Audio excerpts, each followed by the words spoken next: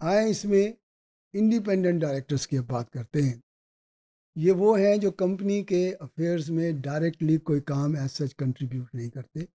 ये सिर्फ़ बाहर से ओवरसी करते हैं और इनका अपना अपना कहीं पर है बिज़नेस जो भी है। लेकिन ये भी ट्रेंड लोग हैं एक्सपीरियंस्ड लोग होते हैं जो कंपनी के अफेयर्स को हेल्प आउट करते इसमें एक चीज़ देखें balance of non executive directors and executive director non executive वो जो सीईओ के नीचे नहीं काम कर रहे जो सीए के नीचे काम कर रहे हैं, वो एग्जेक्टिव हैं। जो इसके बाहर हैं नॉन एग्जेक्टिव यानी वो खुद से बिज़नेस में एज सच काम नहीं कर रहे, लेकिन वो बिज़नेस के पार्ट हैं। वो उसमें अपनी इनपुट देते हैं। तो इनमें बैलेंस होना चाहिए। ये नहीं है कि जी ई जो हैं एग्जेक्टिव डायरेक्टर ज़्यादा हों और नॉन एग्जैक्टिव डायरेक्टर्स ना हो। जैसे मैंने कहा कंपोजिशन में उन्होंने लिमिट कर दी हुई है कि इतने इतने होने चाहिए। One non executive director should be senior independent director who is directly available to the share holders in case any unresolved issue interesting है ये बात कि आप एक डायरेक्टर इंडिपेंडेंट डेडिकेट उसको बताएँ, उसका नाम, उसका एड्रेस उसका टेलीफोन नंबर मेंशन करें कि ये वो आपका डायरेक्टर्स है जो आपकी बात को सुनेगा। एंड एनी वन उसको अगर कोई कंप्लेन है तो वो जनाब इसको रिंग करेगा and he suppose to resolve the issue duty of non executive directors owe to its companies share holder share holders को उनको दिखा, बताना पड़ेगा अपनी ज़िम्मेदारी उनकी है। रीज़न फॉर इंडिपेंडेंट ये इंडिपेंडेंट डायरेक्ट की ज़रूरत क्यों रही ये बहुत ही इंपॉर्टेंट अगेन इशू मेनली मैं आपको बताता हूँ प्रैक्टिकल एक्सपीरियंस है मेरा, कि जहाँ पर डायरेक्टर्स इंडिपेंडेंटली नहीं देखे जा रहे या नहीं हैं लॉट ऑफ़ प्रॉब्लम उसकी रीज़न पढ़ लें, देखें। To provide and detach an objective view of the board यानी आप अलग से कोई देखे हुए आपका बोर्ड कर क्या रहा? अगर वही लोग जो बोर्ड में बैठे हैं, अपनी एक दूसरे की परफॉर्मेंस को वॉच कर रहे हैं that's the end of it no somebody from outside वो आकर देखे कि जी आप क्या कर रहे हैं। उसकी इनपुट लिए जाए। आप कहेंगे जी कि ये पॉसिबल है। भाई, लाजमी करार दे दिया है कि there should be atleast two third independent direct वो ऐसा पेड एम्प्लॉयज़ नहीं है, मैं आपको बता दूँ। उनको सिर्फ़ फ़ीस मिलती है अटेंड करने की मीटिंग जो पेड डायरेक्टर्स है, वो तो जो काम कर रहे हैं उनकी, और उनकी सैलरीज का भी अगेन मीटिंग्स में आता है। To provide expertise and communicate effective ये एक्सपर्ट्स होते हैं। ये आकर उनको बताते हैं, दिखाते हैं, समझाते हैं उन्हें कि भाई देखें, इस तरह से करें, ये करें, वो ना करें। तो ये इंडिपेंडेंट डायरेक्टर्स जो है ना, ये community to present share holders with an independent voice on the board वो अपनी वॉइस बोर्ड में आकर भी बोर्ड को बताते हैं। They have to give their opinion their view point to the board और बोर्ड को उनकी बात को, क्योंकि देखिए मीटिंग मिनट्स बनती हैं, जैसे मैंने कहा। तो हर मीटिंग के मीटिंग मीटिंग की मिनट्स में इनकी जो ओपिनियन है, उसको ड्यू वेट दिया जाता है। और इसीलिए एस एस पी ने एक नंबर ही फिक्स कर दिया जी कि टू थर्ड मेंबर्स जो हैं, वो इंडिपेंडेंट डायरेक्टर्स हों। To provide confidence in corporate governance जब ये लोग बाहर से आकर आपकी ओवरसी करेंगे आपकी चीज़ों को और उसके ऊपर अपनी रिपोर्टिंग करेंगे, उसके ऊपर अपनी ओपिनियन देंगे तो ऑब्वियसली इससे कॉरपोरेट गवर्नेंस में कॉन्फिडेंस पैदा होता है। कि देखें जी, ये जो बैठे हुए डायरेक्टर्स यही नहीं है सब कुछ, ये जो बाहर से आकर बता रहे हैं, उनकी बात भी सुनी जाए और वो ज़्यादा वैलिड है। To reduce acquisition of self interest in behaviour of executive ये भी एक है कि एक दूसरे के ऊपर ज़िम्मेदारी ना डालें, बल्कि वो कलेक्टिवली देखें कि हम कहाँ कहाँ गलत हैं, कहाँ हम सही नहीं है, कहाँ हमें करेक्शन की ज़रूरत है।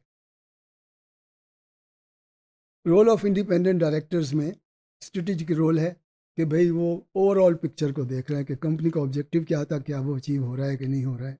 Risk role ensure the company has an adequate internal control and system of risk management again ये बहुत डिटेल में चीज़ें हैं, लेकिन ऑब्वियसली इतना टाइम नहीं है कि मैं एक एक वर्ड को बहुत ज़्यादा डिटेल में एक्सप्लेन कर दूँ। देखिए रिस्क मैनेजमेंट में किस किस्म के रिस्क इन्वॉल्व और कंपनी ने उन रिस्क को मिटिगेट करने के लिए क्या स्ट्रेटजी अप्लाई की हुई है? ये सारा कुछ मैंशन हो। और आज के दौर में ये रिपोर्ट जो हम एनुअल रिपोर्ट पढ़ेंगे बाद में, उसमें ये मैंशनड है कि ये ये रिस्क है और कंपनी ने इस तरह से इस रिस्क को मिटिगेट किया हुआ है। मतलब देखिए प्राइसेस तो चेंज होने डेली बेसिस पर।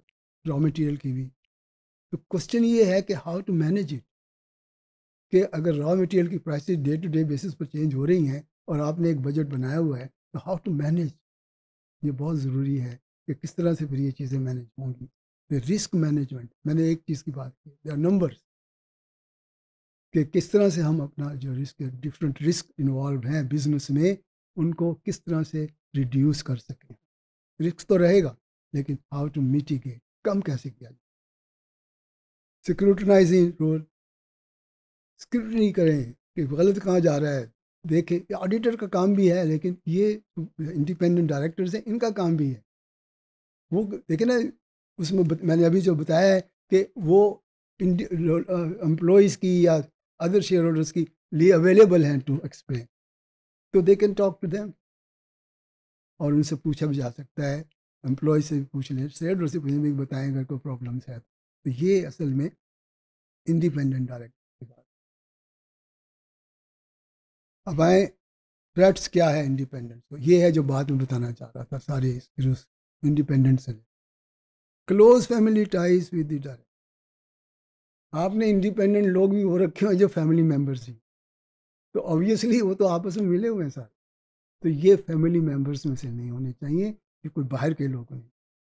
Employ in last five year अगर आप चाहते हैं कि एक एम्प्लॉय जो प्रीवियसली हमारे पास काम करता था, उसको एज ए इंडिपेंडेंट डायरेक्टर रखें, वो भी पॉसिबल नहीं, पाँच साल जो है ना फाइव ईयर्स तक अगर आप एम्प्लॉय रहे हैं तो फिर आप डायरेक्टर्स नहीं बन सकते।